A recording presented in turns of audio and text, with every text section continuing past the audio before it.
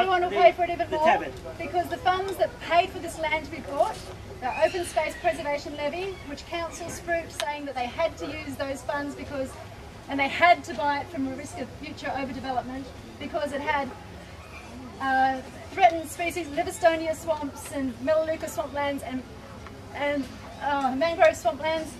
These do not exist in the whole Tipplers precinct. They are two kilometres south of here.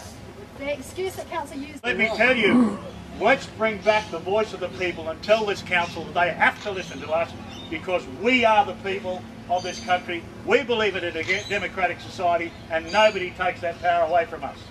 to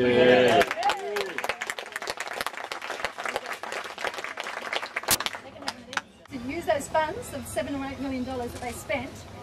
They've since admitted in their council reports in the December report that it was inappropriate to use those funds, and now they're just going to roll it all over into another rate rise. It's in the December report, so it affects every Gold Coaster. You And know, I'd like to say something. pay. Why did they pay 10 million in the end They shouldn't have. something that was worth under 3 million? Mm. Yeah, exactly. Now, who, where, where was the benefit there? The advice the council was given. Yes, By who? that's the question, isn't it? I'd like to bring I'd like to bring to your attention one last thing, and I think the most important thing of all.